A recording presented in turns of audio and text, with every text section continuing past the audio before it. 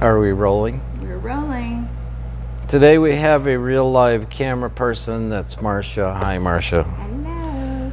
Today, um, I'm redoing this video on the no dribble spout. So there was a bunch of questions on how do you make a spout that doesn't dribble.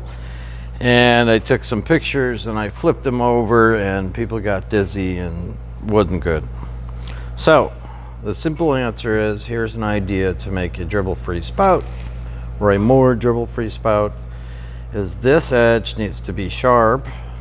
So I took this block sander when it was bisque and I sanded that nice and smooth uh, before this got glazed. And then I took the sandpaper and I made this nice and smooth in here. Very, very, very, very smooth because I want very smooth flow.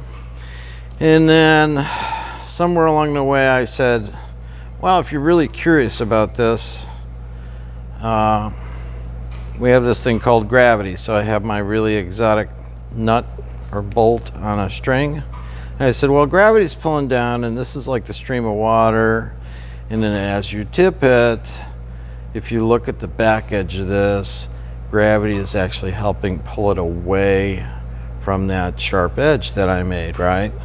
So now there's less chance of a dribble.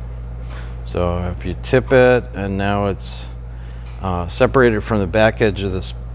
Uh, so anyway, that's the idea, that's the visualization. Everybody said you're making me dizzy by tipping the pitcher over. So I said, well, we'll make one. And then the question is, does it work? So here we go. Not too bad. I'd take it. I'm pretty happy. Pretty dribble free. Um, so the sharper you make those and the better you make that angle and you can mess around with the string and you'll come up with all kinds of good ideas and hopefully it helps. So that's the dribble free spout.